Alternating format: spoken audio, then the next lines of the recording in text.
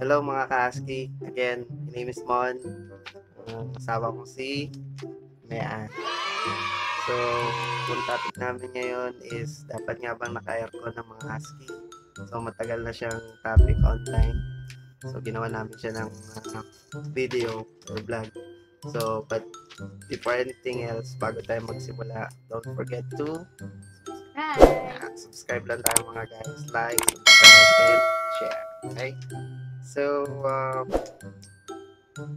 ang pag uh, pagkakaroon ng aircon, so, plus factor siya. Since yung husky natin is uh, um, nature niya is malamig. So, hindi naman, pero hindi naman kailangan lahat maka-aircon. So, ano ba yung alternative way para ano, ah, ma-maintain yung kanilang uh, pagka-cool, cool. Take it away. Ikaw? Para sa mga gusto mag-alaga ng husky. Ng mga nag-aalinlangan kung kailangan ng aircon.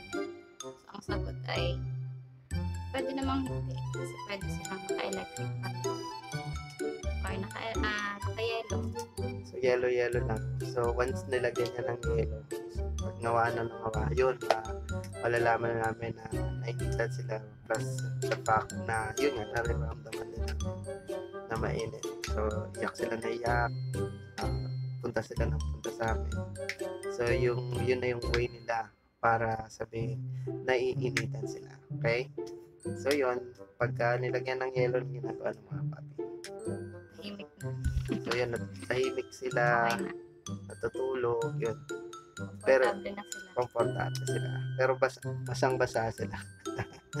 Pero, Basta ano, punas-punas na lang para hindi din sila sisipunin. Kasi nabababa din sila sa tubig. tama. Tapos, bakit nga ba natin na kailangan na i-maintain yung kanilang uh, or hindi sila mainit? So, bakit? Kasi prone sila sa heat stroke. Silang magkasakit. Kaya kailangan, ano, lalamigan sila lagi. Tulad nga nung nilakad ko si Bella nakaraan, medyo umaga pa yun. Kasi nga, ah, madali silang tamaan ng stroke, mga husky. Compare naman sa ibang aso, hindi naman katulad nila na kayang-kaya yung ah, heat index natin. Wow. Heat index. So, yung husky ay. So, ang adv- advisable sa kanila is every morning na lakad or walk, takbo, jogging. Then, pag uwi sa bahay, ah yellow, tubig, kagad. Then, sa hap, pwede sila. Pero yung sa gitna ng uh, alas 12, yan, kala, kasagsagan ng init sa big no, talaga sobrang init yun. Hindi talaga siya advisable.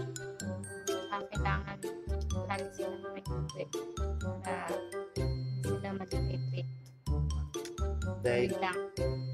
tubig, Malamig. Mas maganda kung malamig. yan. Salamat, salamat. Ano?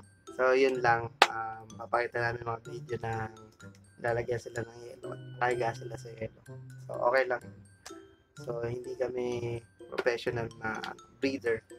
Yun lang. Based lang sa aming uh, Experience. experience sa pag-aalaga. So, nalagaan na namin si Bella since 2 months uh, until now. So, probably one and a half year na siya. So, kahit paano may konti kami alam. so, yun nga. Kung meron kayong gustong i-share, comment, feel free to do that. Ha? English. so, yun nga.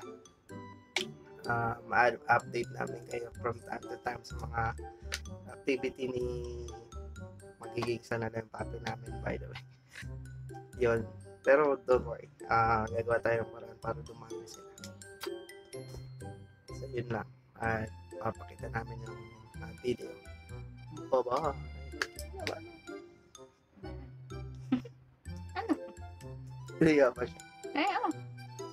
Denied. Kailangan. Sige na. Sige na. Bye-bye na. Ah. So,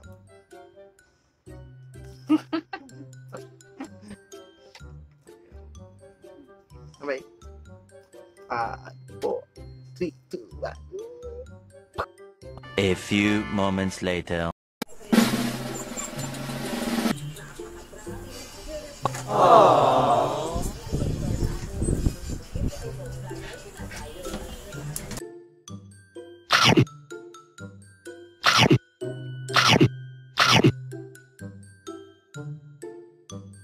Ngayon